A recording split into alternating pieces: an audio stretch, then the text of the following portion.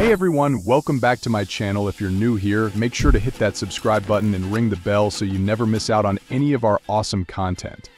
Today I'm going to show you how to create an account on Bybit, one of the leading cryptocurrency derivatives exchanges. First things first, let's head over to the Bybit website. You can simply type bybit.com into your browser's address bar. Make sure you're on the official website. You can also create Bybit account on by using your phone. The process is very simple and similar. Once you're on the home page, you'll see a sign up button at the top right corner.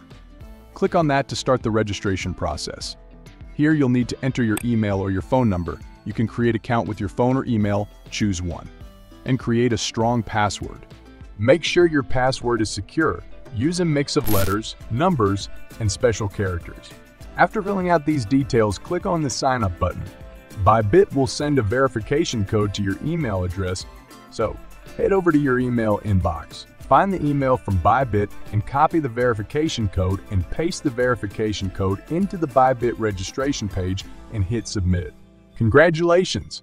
You've now created your Bybit account. Go to your account settings and you'll find an option for security. Click on that and then select two-factor authentications. Follow the prompts to set it up using an authenticator app like Google Authenticator app like Google Authenticator. Now that your account is all set up and secure, let's take a quick tour of the Bybit dashboard. Here on the dashboard, you can see your account balance, recent trades, and various markets you can trade in. Bybit offers a range of trading options, including perpetual contracts and inverse perpetual contract.